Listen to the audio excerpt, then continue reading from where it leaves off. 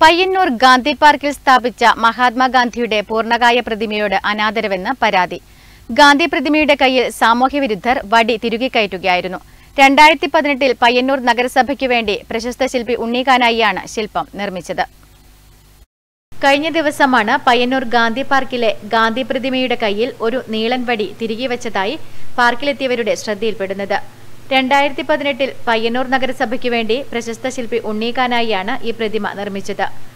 ആയിരത്തി തൊള്ളായിരത്തി മുപ്പത്തിനാലിൽ മഹാത്മാഗാന്ധി പയ്യന്നൂരിൽ സന്ദർശനം നടത്തിയതിന്റെ സ്മരണാർത്ഥമാണ് ശില്പം രൂപകൽപ്പന ചെയ്തത്. ഗാന്ധിജി പയ്യന്നൂരിൽ വന്നപ്പോൾ അന്ന് അദ്ദേഹത്തെ നേരിട്ടു കണ്ട പത്മശ്രീ വി പി അപ്പുക്കുട്ട പൊതുവാളിനോട് സംസാരിച്ചാണ് ഉണ്ണീക്കാനായി പ്രതിമ രൂപകൽപ്പന ചെയ്തത്.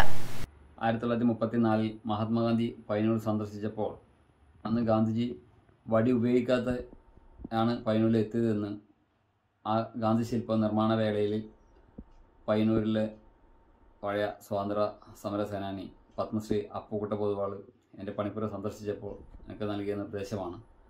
അന്ന് ഗാന്ധിജി വടിയില്ലാതെയാണ് പയ്യന്നൂരിൽ എത്തിയതും വൈകുന്നേരം നാല് മണിക്കാണ് പയ്യന്നൂരിൽ അദ്ദേഹം സന്ദർശനം നടത്തിയത് എന്നുള്ളതാണ് എനിക്ക് കിട്ടിയ അറിവ്.